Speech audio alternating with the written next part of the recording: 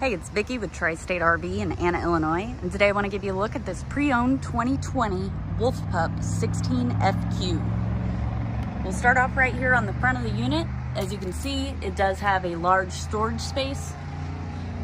You do have outdoor entertainment, so you've got two outdoor speakers, uh, cable and satellite hookups, and a TV mount. And up top, you do have a large lighted and power awning that extends nearly the entire length of the unit. Let's go ahead and get a look inside.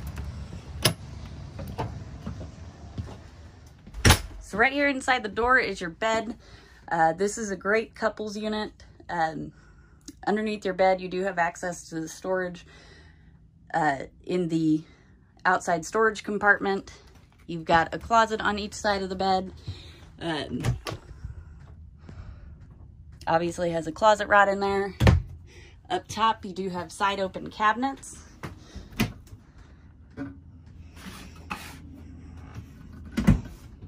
There are USB ports and outlets on each side of the bed as well. So if you have medical equipment or you need to charge your phone, you can do that right here at the bed. Over here is your kitchen. Uh, as you can see, you've got a good amount of storage space up top. You've also got a contour microwave. Below that, you do have a two burner Suburban stovetop. Um, with the stovetop, you do have the glass backsplash, so you can leave it up like this. It'll protect your walls. Or you can leave it down and offer a little more counter space. Over here, you've got a large single basin sink. And it does have a removable sink cover, which does provide more counter space as well.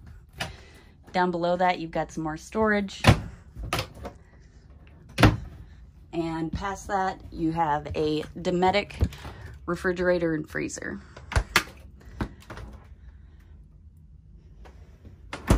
Opposite your kitchen, you've got a two-person booth. Uh, this will fold down into a bed. Uh, I'm five foot four. I probably couldn't fit here without curling up. But um, if you do have small children, you can't. It'd be a great place for them to sleep. Up top, you do have a storage cabinet. And your radio is over here as well.